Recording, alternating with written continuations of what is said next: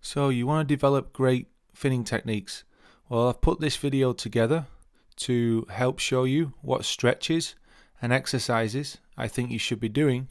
Having a good range of flexibility in your ankles and joints is important, but it's probably not the most important.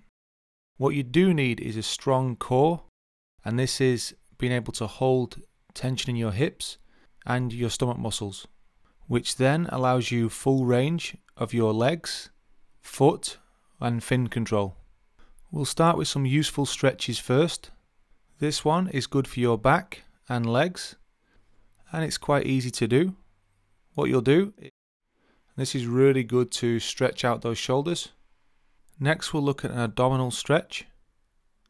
So you go onto your tiptoes, hands shoulder width apart at about chest level, and then you want to stick your head neutral position, push your hips towards the floor, lean back a little, pointing your toes. You can then transition from there into the cat stretch. To do this, knees and feet close together, sit your bum back right on top of your feet or as near to it as you can the next stretch is about ankle mobility, and this is really important for scuba divers as generally we're all very stiff in the ankle. What you do here is put the foot on a flat surface.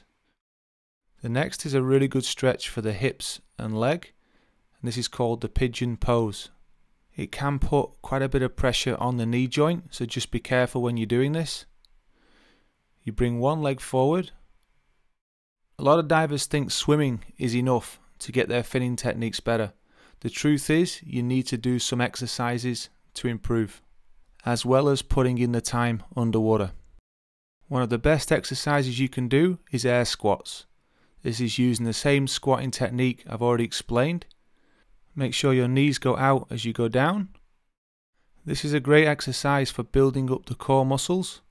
This is holding a hollow, transitioning into a Superman hold then transitioning back again to a hollow, always keeping the core tight as you move. What I quite like is the gymnastic sit up as it really engages the core and forces you to keep that stomach really tight.